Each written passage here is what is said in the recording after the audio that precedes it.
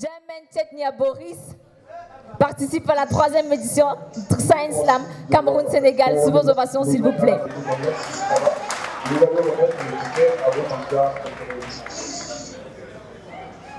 Allô?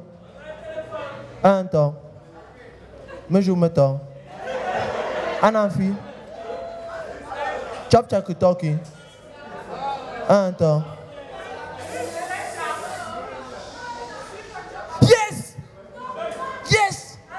Les gars, ne vous dis pas. Les gars, ne vous dis pas. Mon oncle du Qatar est arrivé. Yeah J'appelle Séverin. Il nous, il nous garde la table VIP du boucan. C'est pas possible. Je baille d'abord ma chambre un an ce soir. Mince.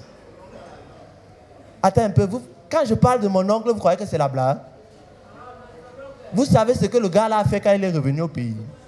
Il s'est d'abord tapé une villa climatisée. Dès que le chef de mon village a vu, il a nommé notable. Et s'il vous plaît, même mon père n'a pas rechigné quand il lui a demandé la place de chef de famille. hein. Et attendez, attendez, attendez. Dès que le grand-père était mort, tu sais ce qu'il a dit aux autres? Quittez là-bas. C'est lui qui m'a donné le chef de, c'est lui qui m'a donné le sac de chef. Mais dès que le gars est revenu, il a d'abord gardé son ML. Mon père a dit, on a ce qui, on a ce qui, tu aussi, tu aussi. C'est-à-dire, assieds-toi mon fils, assieds-toi, tu es bienvenu. Ah, c'est comme pour vous dire, les gars. Vous savez même qu'il y a, le, il y a l'argent dans l'histoire de pétrole là. Est-ce que vous savez qu'il y a l'argent dans l'histoire de pétrole là? Est-ce que vous savez pourquoi nos frères sont chassés de Guinée? Ils font comme mes voisins. Quand le mari de, de, de notre voisine là ne travaillait pas encore, elle avait un calendrier d'allocation des enfants. Aujourd'hui, toi tu pars chez Tasso, à 11h, toi tu pars chez Taflo, c'est-à-dire alors la nourriture va cuire. Mais attendez, s'il vous plaît, dès que le gars a eu son premier salaire, on fermait la porte à midi moins 5. Quand tu toques là, même la mouche ne rumine pas. Tu entendais ça, bon. Vous, pensez que c'est seulement la Guinée équatoriale? Regardez le Nigeria. Les gars là, on vous dit qu'ils font 17 fois les, les exploitations du Tchad. En un an, mon ami, le Tchad génère 46 milliards. Imaginez-vous vous-même. Je suis sûr que si on disait Aliko en tout cas, ne parlons même pas de ça. Mes amis, le pétrole génère l'argent. Mais le problème qu'il y a avec le pétrole, c'est que il y a la rente pétrolière. J'ai un voisin, lui, il est né héritier. C'est-à-dire, il était le seul enfant. Sa mère a d'abord fait 29 gynécologues pour qu'il naisse. Quand le type est né, mon ami, son père avait d'abord 4 immeubles à Yaoundé. Il est du genre, il dort, il se réveille, il mange. Mais ce qui est bizarre avec lui, il ne prend pas le poids.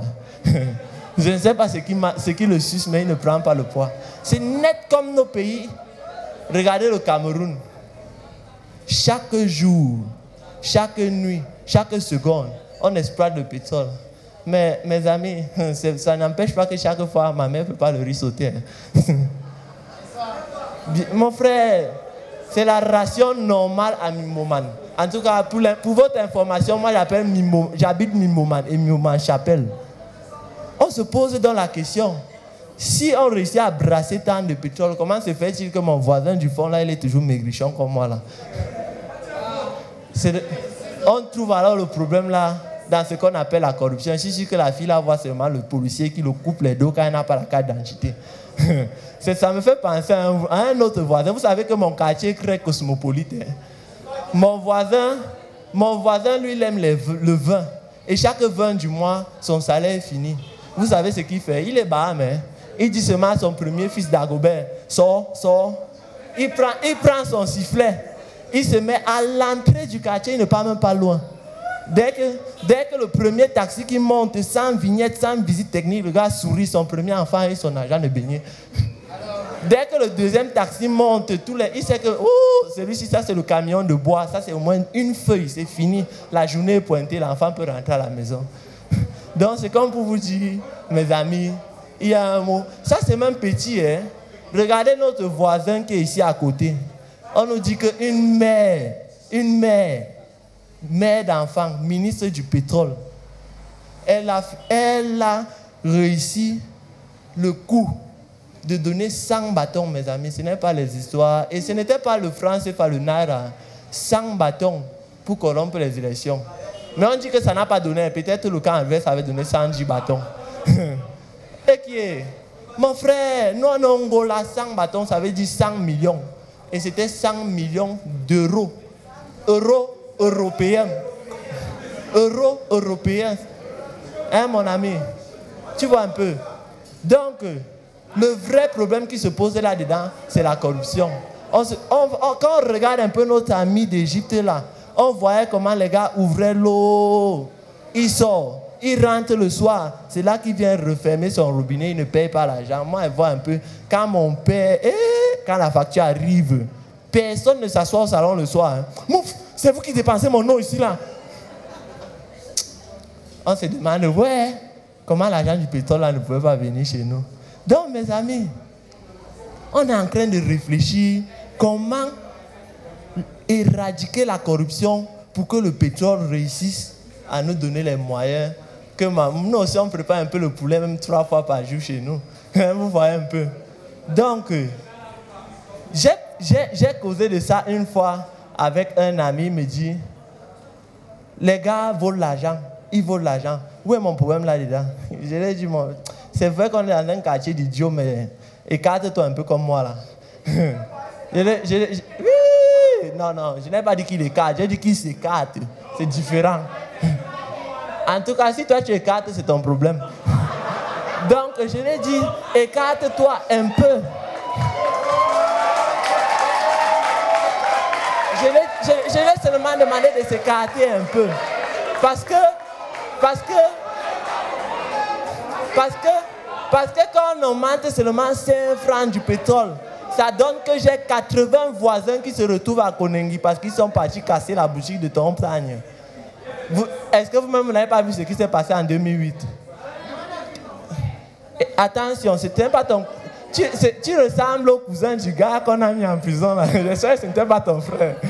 Donc, mes amis, on comprend que quand on augmente seulement 5 francs sur l'argent du pétrole, là, c'est mon plat de BHB qui diminue chaque matin. Et attention, mon père est le genre de père américain que lui va te dire que son salaire n'a jamais augmenté. Donc s'il donnait 1000 francs à sa femme en 94, même en 2015, il lui donne tous 1000 francs.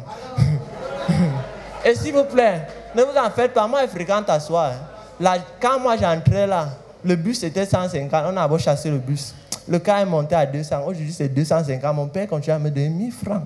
Donc, je. Eh, vraiment, Donc, mes amis, mais ne vous en faites pas, nous sommes en train de réfléchir à une solution. Et mon voisin, il m'a donné une solution terrible. On est en train de réfléchir. J'ai fait cette proposition au ministre de la Culture. Lui, il allait proposer au ministre des Finances, qui allait même proposer au président. C'est-à-dire quoi? À partir de cette année, dans six mois là, à la prochaine édition du Science Slam, nous allons faire une solution très simple. Tous ceux qui arriveront à l'heure, parce que euh, la salle était vide, tous ceux qui arriveront à l'heure, nous allons faire un tirage au sort spécial. On va vous donner 1% des recettes pétrolières. Mais attention, si mon oncle arrive au pays là, il va corrompre les élections. Merci.